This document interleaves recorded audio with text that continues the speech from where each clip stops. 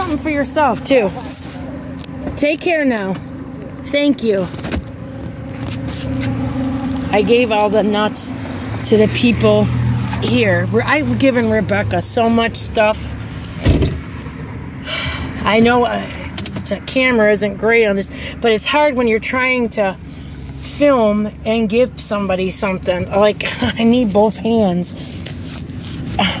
So, anyways, I just saved me a trip from going to her house, but I've given her so much stuff, and she's not even home right now, anyways. And when she comes back, I'll probably still give her a can. Maybe a can or two I got left, you know? But that help that's gonna help some people and it might just help the workers here. They deserve something. They're helping all these people, you know, guys, and they deserve to have some kind of snacks. So that's what it's about. So I just did good. It makes me feel good to help others. I want to be known for that. And I'm actually getting known in my neighborhood. Like the lady today hugged me because she didn't have no cigarettes. I know it's a bad thing to smoke. I get it. But if you smoke, whatever. I gave her like five packs. She goes, I hate those vaping thing. She goes, oh my God, you're a lifesaver. You helped me. If you ever need anything, knock on my door. I got you. And that, that was so nice. And I go, same here.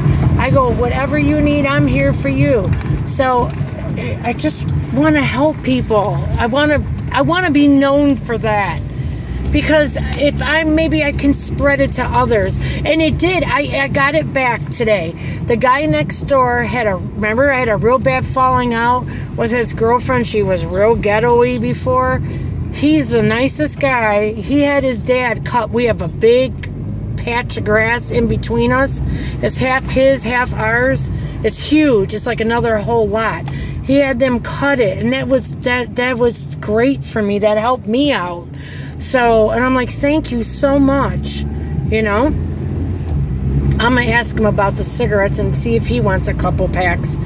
Cause my husband can't. There's like all different kind. There's menthol, the the lights, and the um the regulars. I need to go get an ice cream from from uh, Kroger before they close because I got it on sale for $1.99. I'm going to go there before I go home for the night. And then that's, oh, I can't go down there. It's all construction. Yeah, I don't even know where I'm at anymore. Stupid am I. Hudson, I've already passed. Oh my God.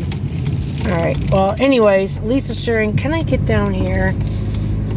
Are you kidding me? Can you get... No, you can't... No, you can't get down here. My God.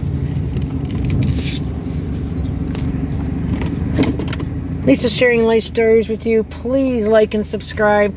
It's about doing good. I've been out of my house three times today trying to give to people and it's just every time I do it, it lights me up inside. You know why?